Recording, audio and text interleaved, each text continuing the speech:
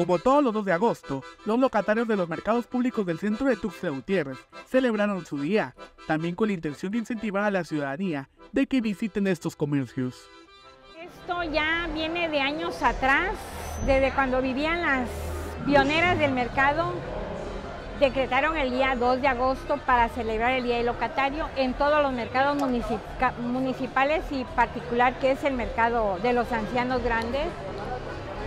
Aquí cooperamos los locatarios para nuestra música, nuestra botana y qué beber, porque una fiesta sin música se mira triste y para atraer más a la gente que venga a consumir lo local.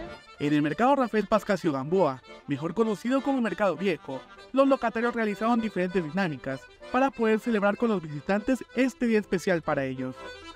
Estamos celebrando hoy en la mañana con la tómbola de regalos ah, para los clientes, que, cositas que donaron los mismos locatarios para que también el cliente sea beneficiado, ¿no?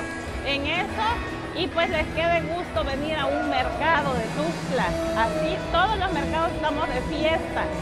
Se cierra a las 6 de la tarde y ya puerta cerrada a puro locatario. Y se entregarán unos premios.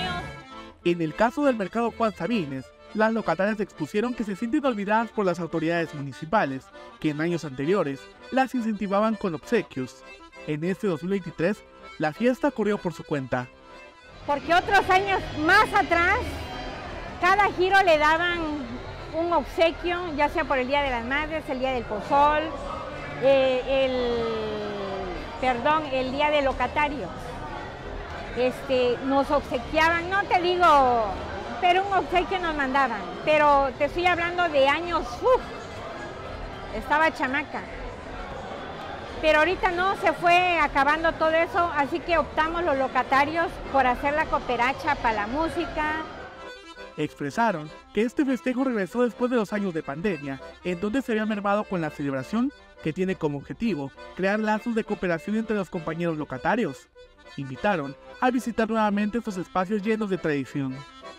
Todos los años de la misma forma, cada locatario hace su botana, y convivimos todos como compañeros y gracias a Dios después ya ves que de la pandemia no tuvimos festejo, pero ahorita sí nos estamos festejando nuestro día.